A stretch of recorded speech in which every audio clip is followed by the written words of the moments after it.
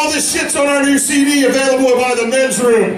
We find that's the best place to meet men. Gotta try to meet men!